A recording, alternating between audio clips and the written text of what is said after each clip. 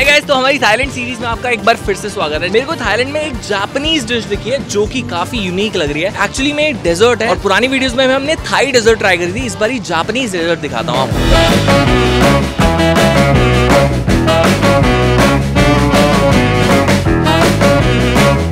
This is called Japanese crepe okay and she is the lady who cooks it okay आप live बनाएँगे ना right now what's your best best one most tasty Banana.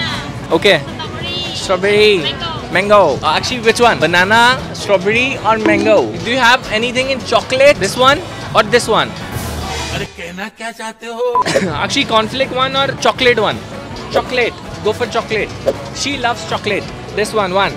देखो guys अभी ये preparation शुरू हो गई है हमारा चॉकलेट क्रेप बन रहा है। ये विप क्रीम डल रही है राइट अक्षी और ये किस चीज़ के ब्रेड के ऊपर है? मेरे को ये समझ नहीं आ रहा। डोसे का मेरे को वो लग रहा है। Half baked exactly half cooked dosa लग रहा है मेरे को तो ये। अब जा रहे हैं इस पे बनानास मुझे लगता है मैडम को केले पसंद है। इसके अंदर गए bananas fresh freshly cut bananas guys इसके अंदर जा रहे हैं। अब इसके ऊपर जा रहा है चॉकलेट सिरप अब जा रहे हैं इस पे फ्रेश स्ट्रॉबेरी ओके गाइस अगला हम ऐड कर रहे हैं इसके अंदर चॉकलेट अब देखो एक आइसक्रीम का स्कूप गया है और बनाना गया है स्ट्रॉबेरी गया है. अब इस पूरे रैप को रैप कर दिया जा रहा है. सुकून का नाम सुना है।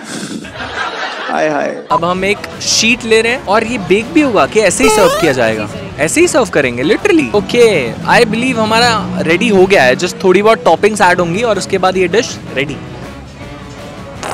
नहीं ठीक है नो प्रॉब्लम नो प्रॉब्लम एक second can you can you do this way okay ठीक है क्लिक कर लो बटन से बस.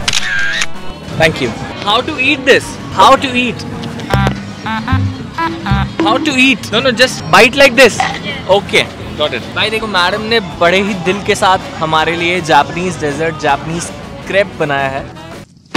मैंने नाम एक्चुअली में सुना हुआ है डेजर्ट का पहले। ट्राई फ़र्स्ट टाइम कर। रहा है नाम ज़रूर सुना हुआ है मैंने इसका। ये मेरे ख्याल से वॉफल वाला डो है। अगर सही मायने बताऊँ तो बेसिकली ये वॉफल का ही डो है।